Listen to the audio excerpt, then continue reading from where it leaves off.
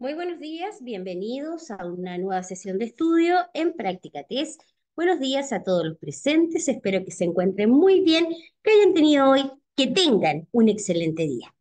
Hoy día nos encontramos en el día lunes. El día lunes eh, iniciamos con videotest. Recuerden que hoy día analizamos, vemos preguntas y respuestas, por supuesto, del test de conducir, licencia para poder obtener su licencia clase B.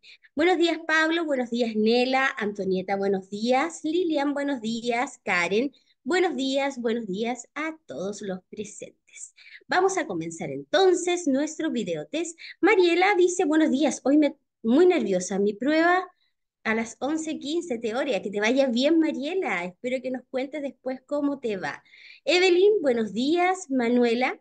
Hola, profesora, buenos días. Ingresé a la clase solo para contarle que aprobé mi examen el día martes pasado. Felicitaciones, Manuela González. Te felicitamos, por supuesto, y te enviamos muchos, muchos, muchos abrazos, cariños, felicitaciones y aplausos, por supuesto, de parte de todo el equipo de Práctica. Comencemos entonces. Felicitaciones, Manuela. Nela, estoy esperando ahora para ingresar al examen. Perfecto. Estudié mucho, clases online, videos, me sirvieron mucho. Perfecto, excelente consejo para todos los que están acá. Por supuesto, vean lo que acá Manuela claramente les está dando algunas claves de cómo ella le fue bien, así que a poner, a poner mucha atención. Cumplí con el, me imagino que es el 70, ¿ya? 70, ah, 97, ah, pero estupendo, pues Manuela. Nosotros siempre decimos a nuestros alumnos que ojalá lleguen sobre el 90%, ¿ya? Sobre el 90%.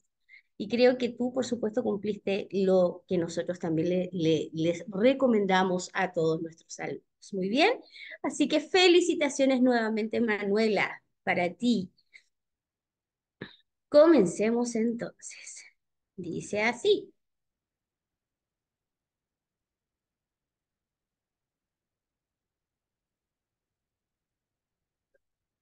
Suerte a todos y tranquilidad. Muy bien, gracias Manuela por tus palabras. Créeme que ayudas a muchas personas ¿ah? con tus palabras. Así que muchas gracias Manuela por tus palabras. Comencemos el videotest del día de hoy. ¿En qué se basa el principio de la confianza? A. En que no hay que confiar en ningún usuario de la vía. B. En que cada uno haga lo que quiera. C. En que los demás van a cumplir con las normas del tránsito. Marque su respuesta.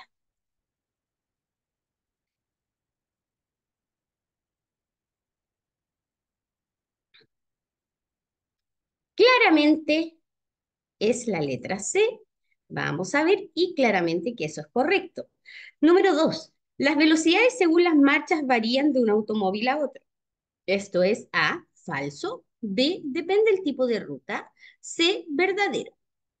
Las velocidades según las marchas varían de un automóvil a otro. ¿Eso es verdadero o es falso? O como dice acá, depende del tipo de ruta.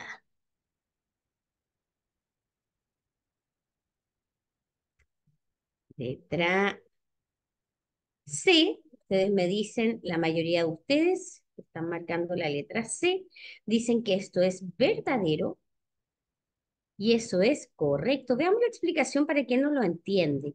La caja de cambios multiplica la fuerza del motor. Esta puede tener 3, 4, 5 o más marchas.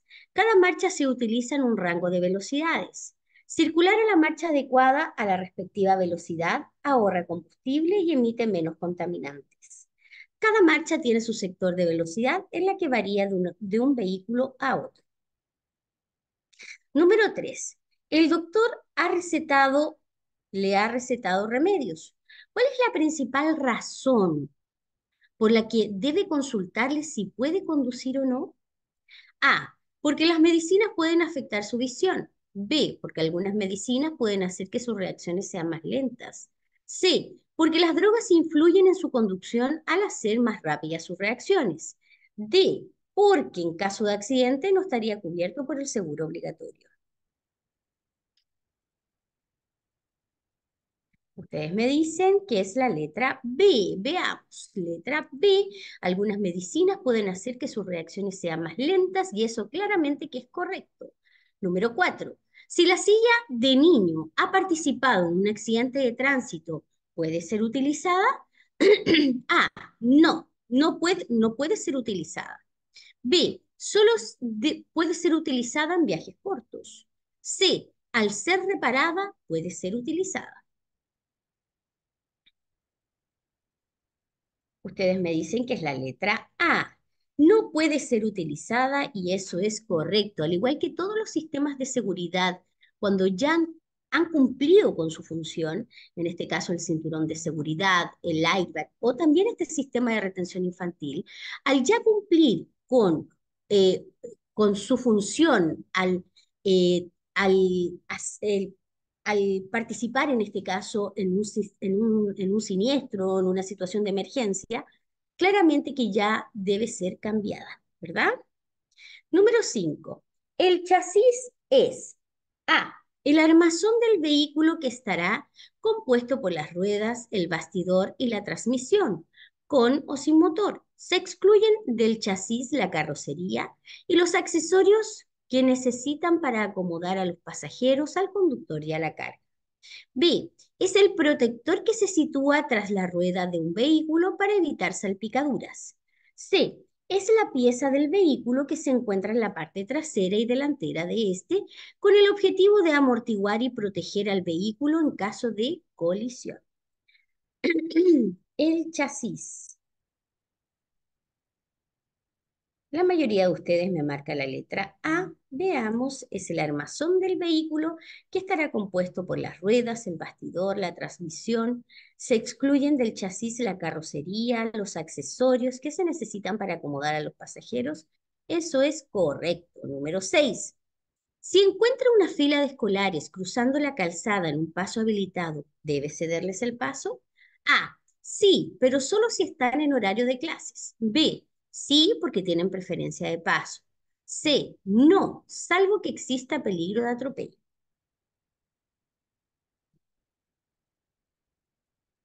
Claramente que es la letra B, ¿verdad? Claramente tenemos que cederles el paso. Número 7.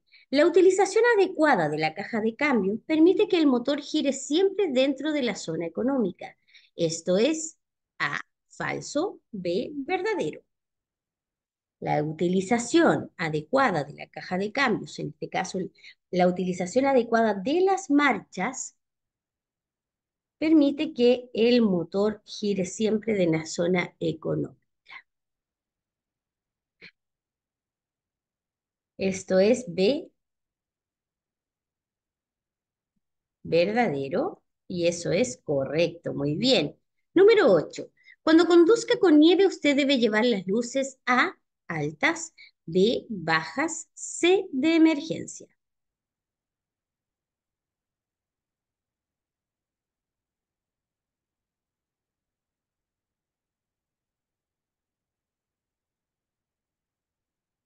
Claramente tenemos que llevar las luces bajas, ¿verdad? Número 9. La distancia de frenado depende del estado de la calzada, de los neumáticos y del sistema de frenos y de la velocidad. Esto es A, verdadero, B, falso.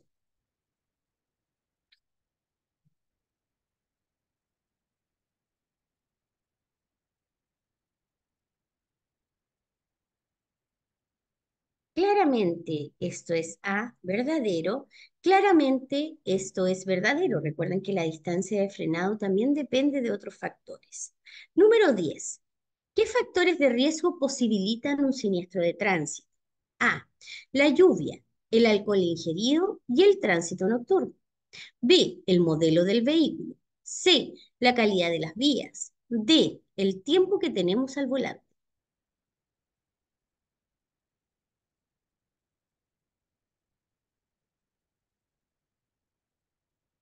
Esto es la letra A, veamos, y eso es correcto, muy bien. Número 11. Cuando usted efectúa una maniobra, debe indicarla al menos con anticipación de A, 10 metros, B, 5 metros, C, 30 metros.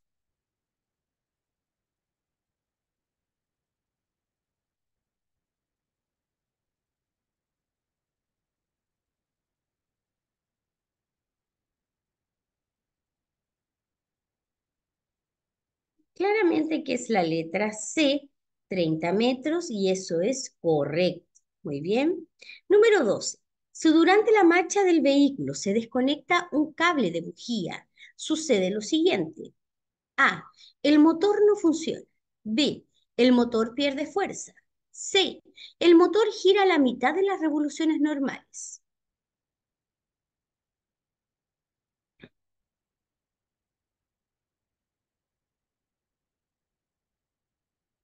B, me están preguntando si es la B. Veamos. La mayoría de ustedes me marca la letra B. Veamos, si nos equivocamos, vamos a ver la explicación. Dice que el motor pierde fuerza. Es lo que la mayoría de ustedes me están marcando. Si se desconecta un cable de bujía, veamos si eso es correcto y claramente que sí es correcto. Si durante la marcha del vehículo se desconecta un cable de bujía, pierde fuerza debido a que algún cilindro no producirá la combustión, reduciendo la potencia. Y eso es correcto, muy bien. Número 13. Cuando sienta fatiga al volante, un conductor debe tener en cuenta que A. En ningún caso su visión se verá alterada. B. El deslumbramiento es constante. C. La fatiga puede producir efectos similares a una dosificación de alcohol de 0,5 gramos por mil de alcohol en la sangre.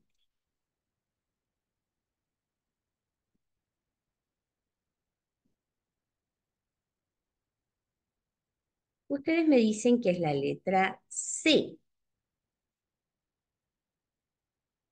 Y eso es correcto, muy bien. Número 14, multirespuesta puede marcar más de una alternativa. Dice así, con respecto al líquido de freno, si el nivel está bajo puede causar un accidente. B, el líquido de freno no se consume y si disminuye es porque hay algún defecto mecánico. C, revísalo periódicamente según las indicaciones del fabricante.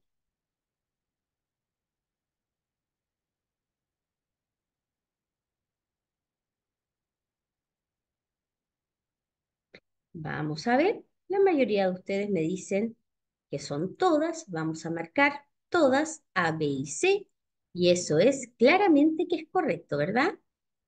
¿Cuál es la misión de la batería? A, arrancar el vehículo. B, acumular el voltaje necesario para que salte la chispa. C, conseguir que el magnetismo se mantenga constante. D, acumular la energía producida por el alternador.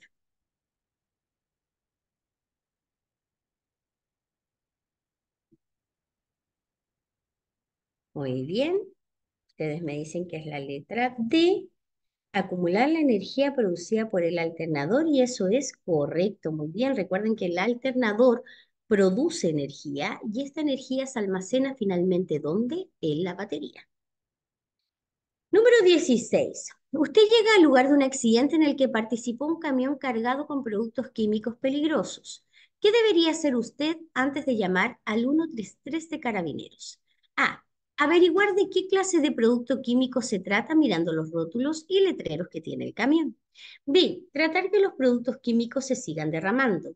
C. Tratar de diluir los productos químicos con agua. D. Tratar de mover el camión.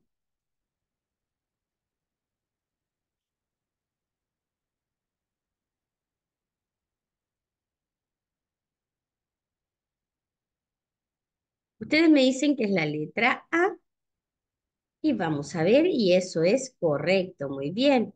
Número 17. ¿Qué significa esta señal de tránsito? A.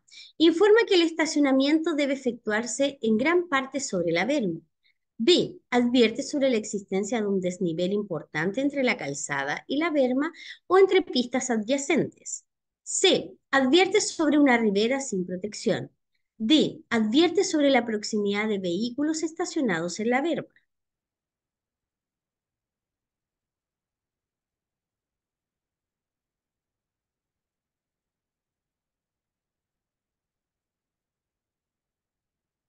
Letra B. Y eso es correcto, muy bien. Número 18. En el caso de reincidencia tres veces en la conducción en estado de ebriedad o bajo la influencia de sustancias estupefacientes o psicotrópicas, el juez debe decretar la cancelación de la licencia de conductor infractor cuando estime que su conducción ofrece peligro para el tránsito o para la seguridad pública. ¿Esta afirmación es verdadera? A. Sí, pero solo en el caso de haber lesiones gravísimas. B. Sí. C. No.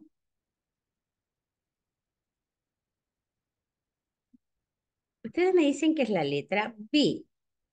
Claramente me dicen ustedes que es sí. Así debe ser, ¿verdad? Número 19. ¿Cuál es el mejor consejo para una conducción segura? Tratar de conducir durante la noche en viajes largos. B. Mantener la prisa. C. No respetar los límites de velocidad. D. Contar siempre con el tiempo de sobra al conducir.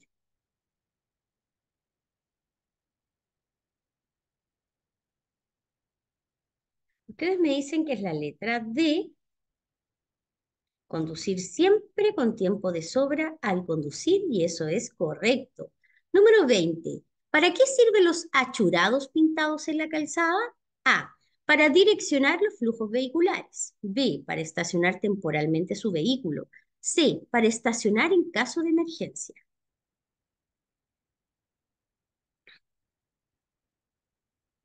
La mayoría de ustedes me dice que es la letra A y eso es correcto. Muy bien. Número 21. Si su vehículo cuenta con placa patente terminada en el dígito 6, la revisión técnica será el mes de A, marzo, B, abril, C, mayo, D, septiembre.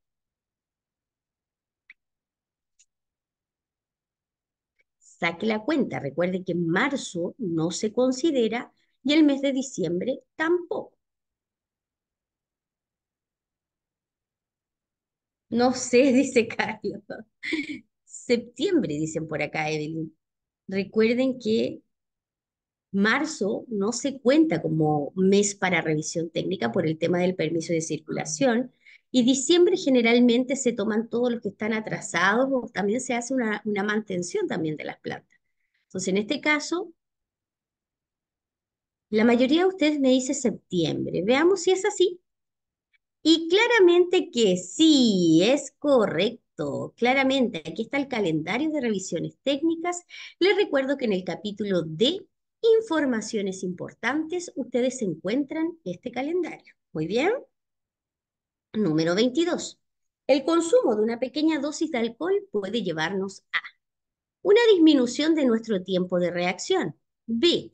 Que nuestras reacciones sean más rápidas y precisas. C. Conducir de manera arriesgada.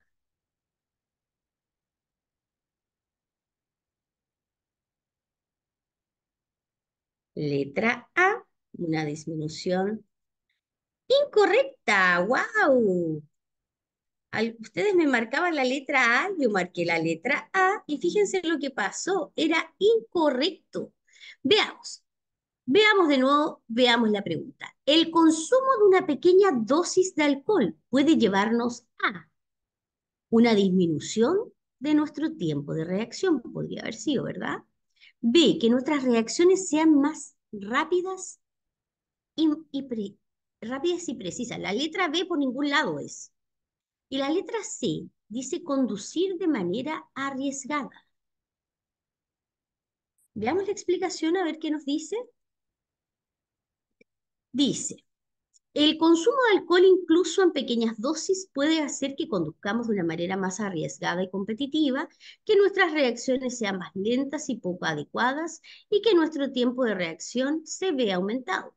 Importante. El aumento en el tiempo de reacción es que tardamos más tiempo en reaccionar. Aumento en el tiempo de reacción. Disminución de nuestro tiempo de reacción. Fíjese que aquí está la disminución, el tiempo de reacción. Es que tardamos menos tiempo en reaccionar. Ah, aquí está la, la diferencia. Lo que debería haber sido sería la letra A. Aumento del tiempo de reacción. es que tardamos más tiempo en reaccionar. Claramente hay un, hay un tema de redacción que es súper fino, súper delicado. Hay un tema súper fino aquí. Disminución en el tiempo de reacción es que tardamos menos tiempo en reaccionar. Uno lo podría situar casi al revés, ¿verdad? Rayos, era una pequeña trampa, sí. Fíjense que era una pequeña trampa. Hay un pequeño detalle en la redacción. Así que mucha atención con esta pregunta. Número 23. Una de las reglas que se usa en la carretera para mantener una distancia adecuada con el vehículo que nos antecede es A. La regla de los tres vehículos. B. La regla de un segundo. C. La regla de los tres segundos.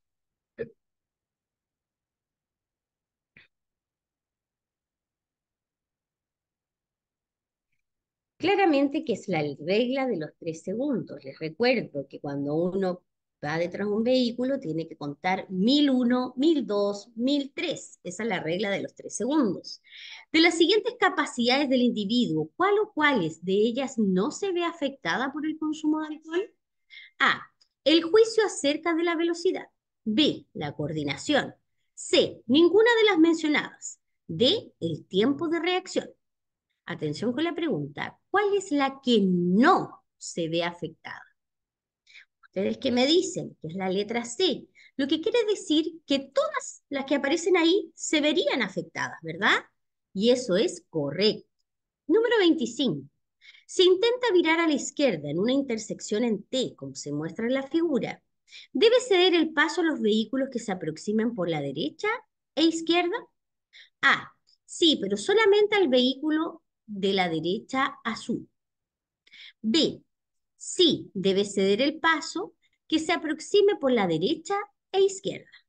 C. No, usted tiene preferencia de vía.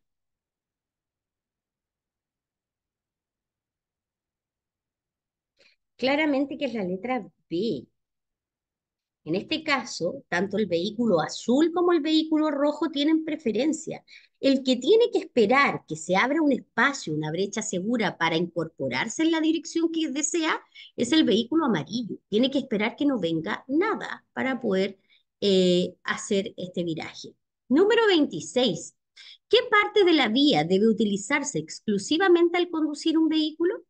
A debe utilizarse exclusivamente al conducir un vehículo? A, la berma, B, la calzada, C, la acera. ¿Qué parte de la vía debe utilizarse exclusivamente al conducir un vehículo? A, la berma, B, la calzada, C, la acera. Letra B, la calzada, claramente que es correcto, ¿verdad? Número 27. Para entrar a una autopista, ¿A qué velocidad debe circular? A. A la velocidad adecuada que permita incorporarse con seguridad. B. A la máxima velocidad permitida en la autopista. C. Siempre muy despacio para entrar con seguridad.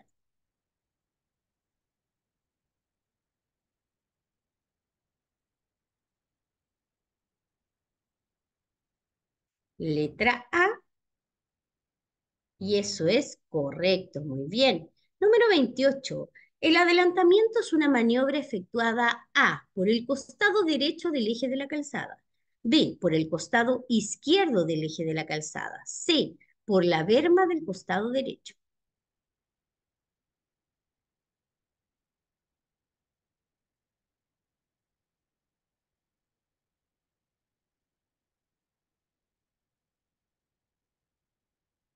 Y eso es correcto, muy bien, letra B. Número 29. ¿Cuál de estas imágenes te indica que más adelante hay una zona de curvas? A, la señal 2, B, la señal 1, C, la señal 3.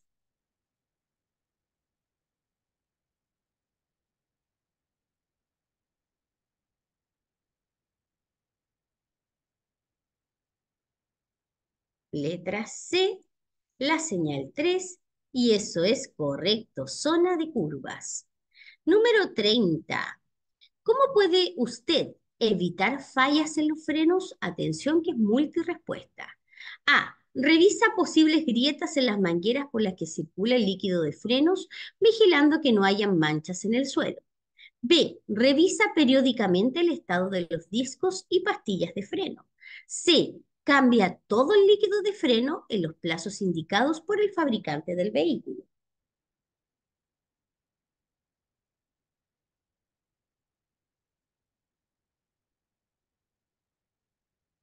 Muy bien, ustedes me dicen que son todas. Veamos. A, B y C. Y eso es correcto, muy bien. Número 31. ¿Cuál de las siguientes opciones no corresponde a una mirada cercana? Visión directa al momento de conducir su vehículo. A. Cruce o intersección. B. Asfalto en mal estado. C. Tapas o rejillas de alcantarilla. Cruce en... Recuerden que la visión directa te permite ver lo que pasa delante tuyo. Como dice el nombre, es directamente hacia adelante. La visión periférica te permite saber qué está sucediendo en un, en un ángulo de 180 grados. Esto quiere decir que me dicen ustedes que es la letra A, cruce e intersección, y eso claramente que es correcto. Muy bien. Número 32. Puede ser peligroso cuando durante la noche usted vira desde una vía muy iluminada hacia una calle muy oscura. A. No, porque los ojos se adaptan rápidamente a los cambios de iluminación. B. No, porque durante la noche usted lleva las luces encendidas. C, sí, porque es más difícil ver a los peatones y porque los ojos tardan mucho en adaptarse a la oscuridad.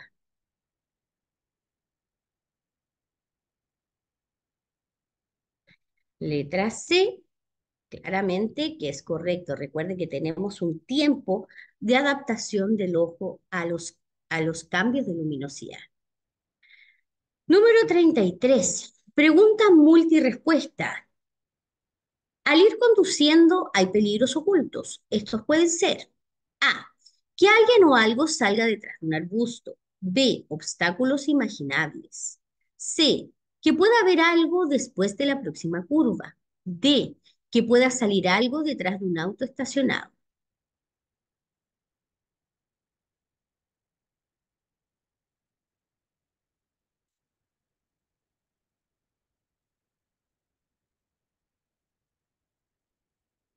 La mayoría de ustedes me marca que son todas. Y hay otras personas que me marcan A, C y D.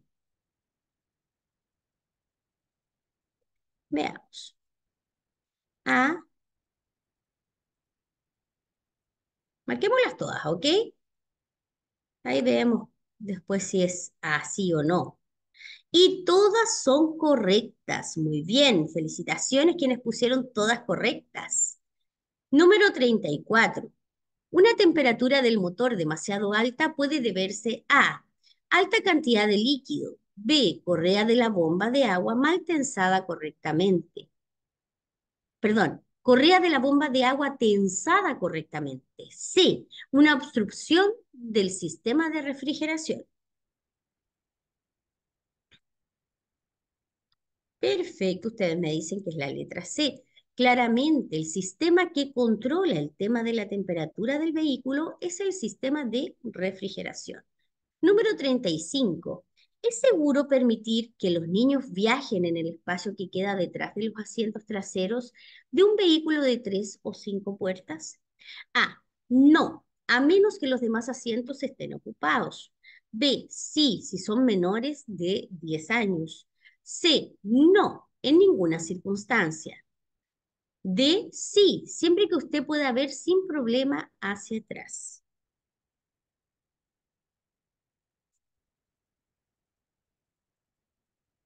Claramente que la ley dice que no, ¿verdad? Que los niños, en este caso, siempre tienen que ir en un sistema de retención infantil.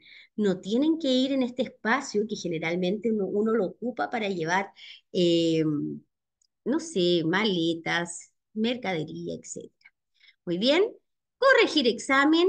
Hoy día lunes nos fue bastante bien, ¿ah? Tuvimos solamente un fallo con una pregunta que tenía bastante, bastante, era bastante compleja en el tema de la reacción, pero Claramente que con este resultado estaríamos aprobando un examen teórico del municipio. Muy bien.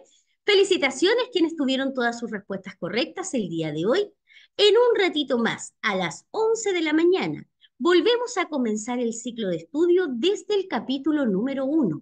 El ciclo de estudio ahora se comienza a ordenar como corresponde. Por lo tanto, vamos a hacer las 10 sesiones, por supuesto, dentro de este ciclo, ¿ok? Nos vemos en un ratito más. Dice, eh, bueno, eh, profe, recién vuelvo a estudiar, me diría cuáles son los cambios. Claramente, todas las clases, Fran, estamos hablando de los cambios. Y principalmente, el único capítulo que tiene gran, cambios súper significativos es el capítulo número uno, que lo vamos a ver el día de hoy.